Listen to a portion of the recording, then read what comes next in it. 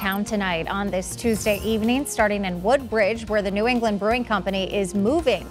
This week, the brewery announced expansion places that will involve relocating to a waterfront location at the Savin Rock Convention Center in West Haven. The new venture will include a tap room, production area, and facility for events.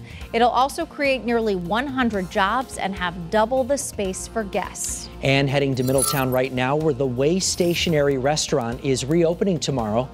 And that right there is reason to go by. The grilled cheese hotspot closed in July for some renovations and focused on their food truck business over the summer, which is always very busy. The restaurant posted on Facebook that they have been restocking everything and they will be back open on Main Street just in time for lunch on Wednesday. That